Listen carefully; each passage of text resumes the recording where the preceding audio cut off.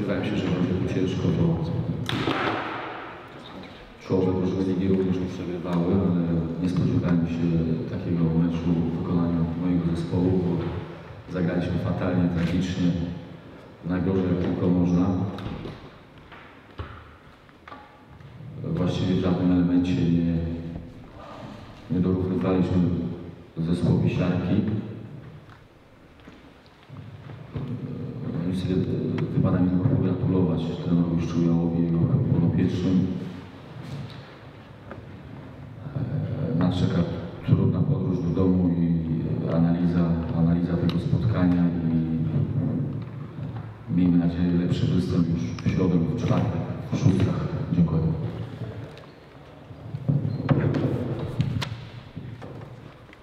Yeah, I think we started the game out, you know, we came out and we started the game flat and, you know, we had to come out and, you know, on our away court, we had to come and give a lot of intensity and match the opponent. Wydaje mi się, że nie zaczęliśmy tej, e, tego meczu najlepiej. Musieliśmy dać e, z siebie więcej. No niestety nie udało się takiej intensywności gry osiągnąć, jaką chcieliśmy. Na konferencji prasowej gospodarzy, trener jeździowców pan Dariusz Szczopiał oraz e, dzisiejszych strzelców e, Dawid Przybyszewski. Gratulacje serdeczne za zwycięstwo w rundzie zasadniczej i kilka słów na gorąco po dzisiejszym spotkaniu. Gratuluję drużynie, gratuluję zawodnikom postawy waleczności i tego, że utrzymali równo tempo, bo rzeczywiście nie mieliśmy ani wielkich zlotów, ani załamań dzisiejszym. Można powiedzieć, kontrolowaliśmy. E, Kilka punktów przewagi zawsze było po naszej stronie. E, Zmienna obrona, waleczność. Troszkę się obawiałem, bo zabrakło na boisku Dowsa i skróciła nam się jakby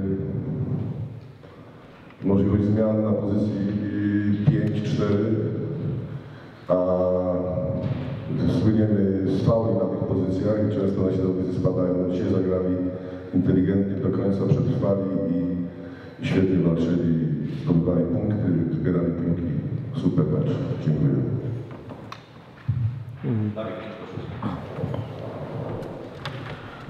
No ja bardzo się cieszę z tej wygranej.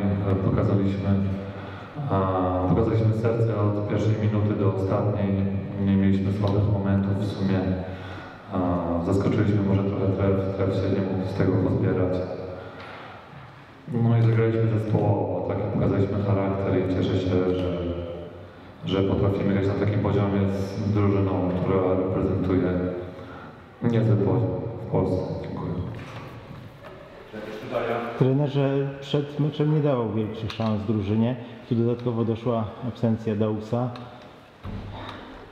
Coś mógłby trener powiedzieć, co to jest.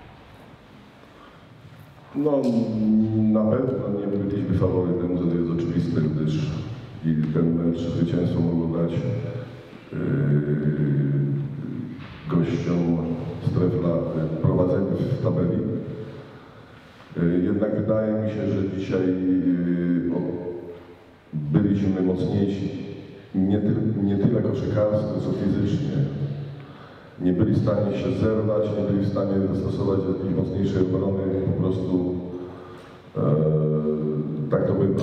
Może ciężka podróż ich troszeczkę zgniotła, może nie wiem, może akurat w, tak, w takiej fazie są, natomiast e, nie byli w stanie nam dzisiaj, dzisiaj podobać, myśmy byli drużyną zdecydowanie lepszą. Trenerze, co z Dausem? Doks w trakcie treningów w tygodniu podkręcił nogę. Wydawało się, że do, do meczu dojdzie. Jednak dzisiaj przed meczem podjął decyzję rano jeszcze próbował e, rzucać, trochę pobiegać, ale e, uznał, że jest, nie, nie jest na tyle sprawny, żeby móc wystąpić w tym spotkaniu. W związku z tym odpuściliśmy to. W następnym meczu go zobaczymy?